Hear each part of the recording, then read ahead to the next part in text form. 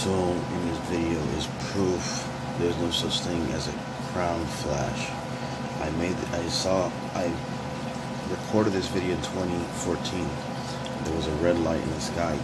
It was moving from cloud to cloud like really fast during the darkness. Okay. And it wasn't there was no sunlight so the guy wanted to say oh the crown flashes when the sun no there, there was no sun I've been looking for this clip for a while and I finally found it so here it is I had a crappy the the my phone wasn't that good so the camera quality is really bad check it out That's lightning on film. Not true. Dude, there's something in the clouds for real, yo. You see that? Good. What in the heck, dude?